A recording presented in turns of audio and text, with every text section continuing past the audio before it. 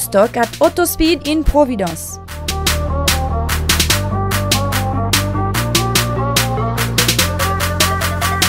We welcome you at Autospeed in Providence. Find us on saybusiness.com.